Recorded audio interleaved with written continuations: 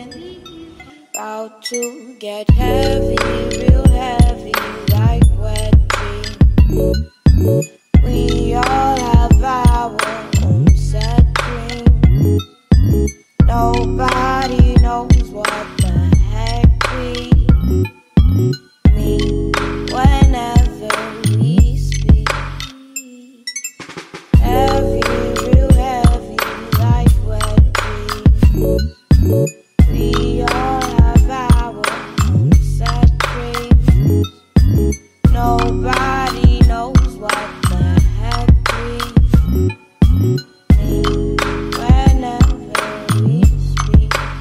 So we keep talking.